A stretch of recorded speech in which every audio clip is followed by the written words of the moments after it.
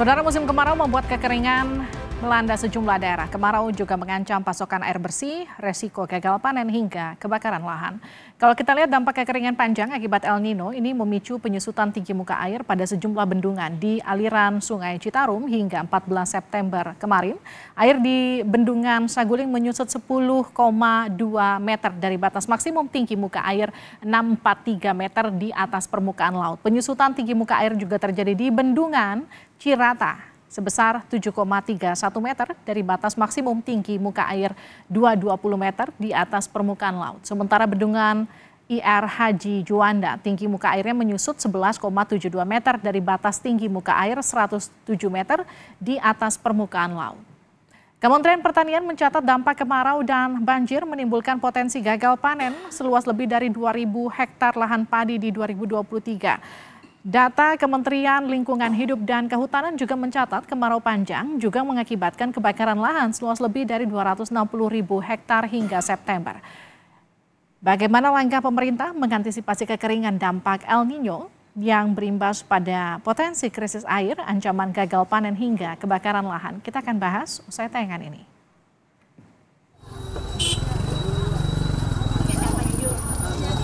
Dampak musim kemarau panjang akibat El Nino mulai dirasakan warga di sejumlah daerah. Di sebagian daerah, warga mengalami krisis air bersih. Di daerah Kalideres, Jakarta Barat, akibat air pump tidak keluar, warga harus mengantre untuk mendapatkan bantuan air bersih.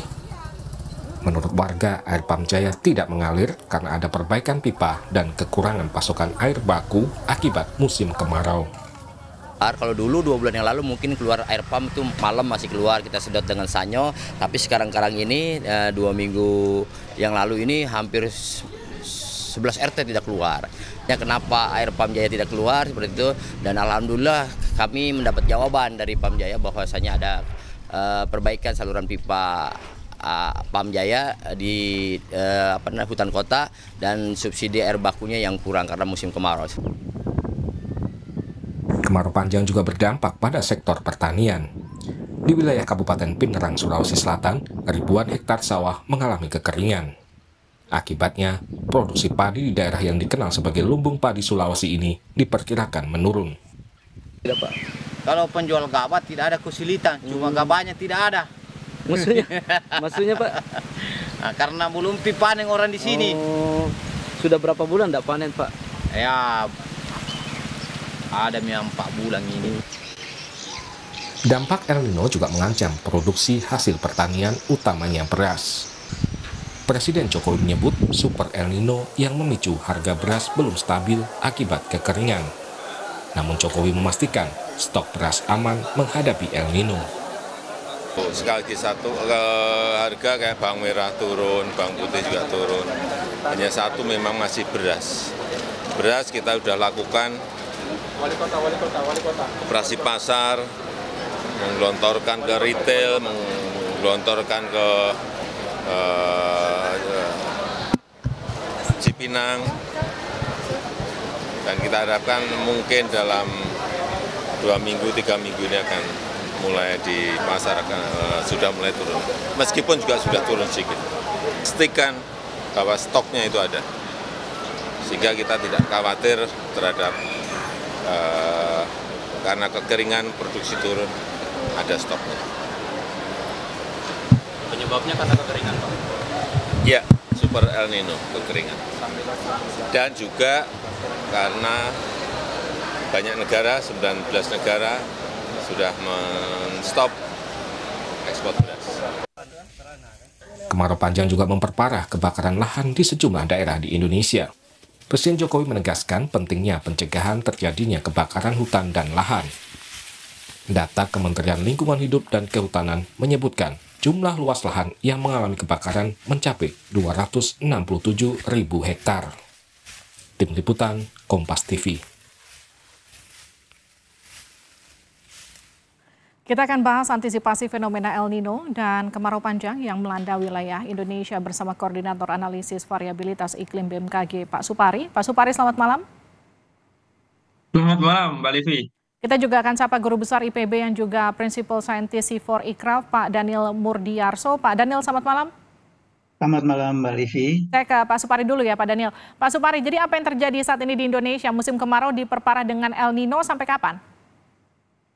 Iya betul Mbak Livi. Jadi eh, ini adalah sesuatu yang kita prediksi sejak awal tahun bahwa El Nino akan hadir tahun ini dan memberikan dampak yang cukup nyata di Indonesia. Uh, secara fenomena tercatat sejak tengah Mei sebenarnya El Nino itu sudah aktif dan uh, dampaknya terasa sekali mulai Juni Juli, terutama di wilayah uh, Sumatera bagian selatan, Jawa, Bali, NTB, NTT, sebagian besar Kalimantan, Sulawesi, Maluku dan Papua bagian selatan. Uh, BMKG mencatat per awal September itu daerah-daerah sepanjang Pulau Jawa, Bali, NTB, NTT, sebagian Kalimantan Selatan tidak mengalami hujan sama sekali lebih dari 60 hari. Jadi uh, BMKG memonitor menggunakan uh, sekitar lebih dari 4.000 titik pengamatan hujan dan itu mencatat lebih dari dua bulan. Sebagian besar Jawa, Bali, NTB, NTT, eh, Kalimantan bagian selatan, sebagian Sulawesi Selatan itu tidak menerima hujan sama sekali. Daerah mana yang paling parah, Pak? Uh, paling parah di NTT kita mencatat 136 hari tidak ada hujan. Itu berarti sudah lebih dari empat bulan. Oke, okay. uh, apa sih yang bisa terjadi ketika kemudian uh, El Nino terjadi berkepanjangan seperti sekarang? Nggak ada hujan, suhu tinggi ekstrim, apa uh, dampaknya secara langsung? Ya, uh, sudah dikaji oleh banyak peneliti bahwa El Nino ini akan membawa dampak berkurangnya curah hujan di Indonesia, terutama di musim kemarau. Jadi sebetulnya nanti ketika berganti musim, uh, dampak El Nino itu berubah atau berbeda. El Nino sendiri akan uh, aktif sampai awal tahun depan. Namun demikian, mudah-mudahan tidak salah dipahami masyarakat bahwa kekeringannya tidak berlanjut sampai awal tahun depan. Meskipun El Nino-nya berlanjut sampai awal tahun depan. Karena apa? Karena dampak El Nino itu Eh, tergantung musim. Di musim kemarau inilah dampak El Nino sangat terasa yaitu berkurangnya curah, curah hujan. Sementara nanti uh, di bulan November musim hujan sudah masuk, dampak El Nino akan berkurang. Jadi uh, itu yang akan dirasakan masyarakat. Uh, Pak Supari sudah diprediksi, tapi kemudian kalau kita tanya antisipasi pemerintah untuk mencegah uh, gagal panen, tadi ada beberapa dampak langsung dari kemarau panjang ini, apa yang bisa dilakukan pemerintah soal itu? Iya betul Mbak Livi, uh, BMKG berkoordinasi dengan berbagai kementerian dan lembaga uh, menginformasikan terkait dengan peluang El Nino tahun 2023 ini. Dan kita sejak bulan Februari juga berkirim surat kepada Bapak Presiden memberitakan menceritakan terkait dengan kehadiran El Nino ini sehingga uh, di antara kementerian dan lembaga sudah berkoordinasi. Teman-teman di Kementerian Pertanian sudah melakukan upaya-upaya misalnya penyesuaian pola tanam bagi petani pada saat itu. Jadi ketika fase-fase eh, El Nino datang, tentu ada banyak eh, langkah-langkah yang bisa dilakukan. Okay. Tapi kalau sekarang, sekarang kita sudah berada di bulan September, ini di sebagian besar wilayah selatan Indonesia, misalnya Jawa, uh, Bali, NTB, NTT itu adalah uh, puncak musim kemarau dan El Nino sudah sedang aktif. Jadi prosesnya bukan langkah-langkah antisipasi, ini adalah langkah menghadapi.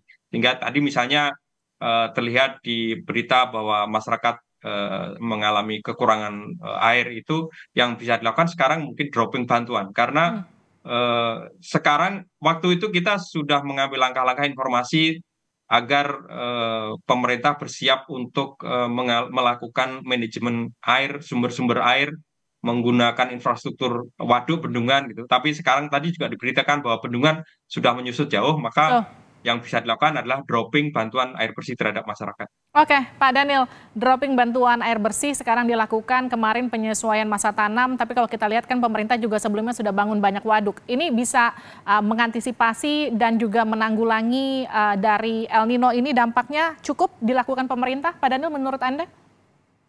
Eh, sebentar ya, eh, saya kembali dulu ke soal proses eh, pemanasan dan proses penarikan uap air ini ya. Tadi Pak Sukari sudah menjelaskan ketika El Nino ini banyak sekali uap air kita yang harusnya jadi hujan itu ketarik ke bagian timur Indonesia. Tetapi sesungguhnya antara April sampai dengan Oktober itu secara klasik ya kita itu memang mengalami monsun kering yang menyebabkan musim kemarau itu antara April Oktober. Nah, sekarang diperparah dengan adanya cuaca ekstrim ini, El Nino, ya, ditarik ke timur.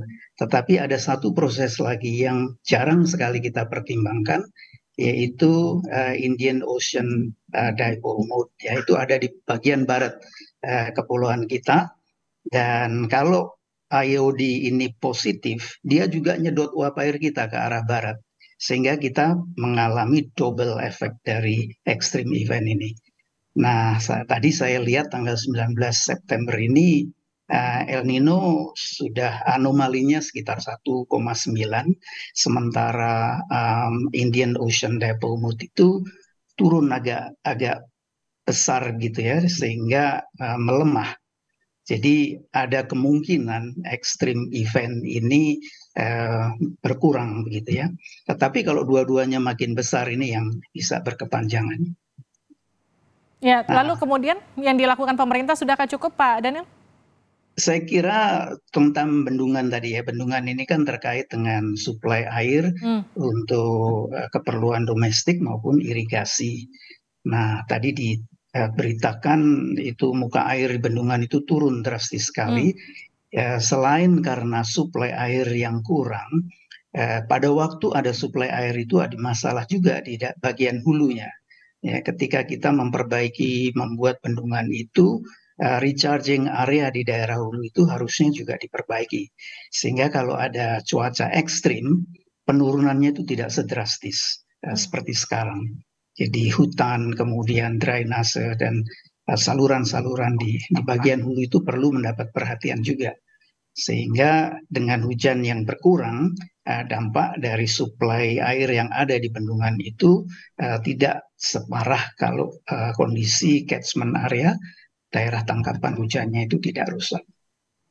Ya, ini kan sudah September akhir, eh, menuju akhir. Hmm. Uh, kalau kita bicara ancaman krisis pangan, seberapa besar ini kemudian masih akan terus terjadi? Ya, pangan kan sebetulnya tidak serta-merta menyesuaikan ya. Dia perlu pertumbuhan sejak dia disemaikan dan sebagainya. Zaman dulu uh, kita mengenal yang namanya palawija ditanam di musim-musim seperti ini. Ya, sekarang ada program namanya uh, pajali, padi jagung kedelai itu juga seharusnya diintrodusir lagi sehingga ketergantungannya pada air itu tidak terlalu besar. Jadi kalau kita berharap padi terus yang irrigated itu ya memang memang agak berat kondisi itu.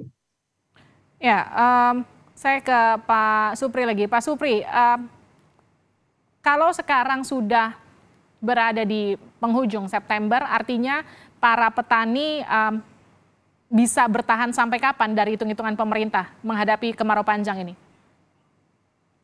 Ya, uh, Mbak Livi, prediksi curah hujan BMKG menyatakan bahwa bulan Oktober nanti kita masih sangat rendah ya curah hujan, terutama di wilayah selatan. Terutama yang saya sebutkan tadi, Jawa, uh, Bali, NTB, NTT itu curah hujan masih sangat rendah. Sehingga memang Eh, masih terdapat kebutuhan air yang besar yang harus ditutupi tanpa mengandalkan curah hujan sehingga eh, ini mungkin perlu menjadi perhatian uh, masyarakat dan juga pemerintah. Uh, kemudian di bulan November sebagian besar wilayah akan mulai masuk musim hujan sehingga uh, tentu saja itu akan mencukupi kebutuhan air di persawahan. Jadi pertanyaan mungkin uh, yang perlu di uh, apa dilakukan oleh masyarakat adalah menyiapkan atau uh, mempersiapkan hmm. kondisi karena bulan Oktober yang masih rendah curah hujannya. Oke, terima kasih Pak Supri, terima kasih Pak Daniel sudah bergabung bersama kami di Sapa Indonesia Malam.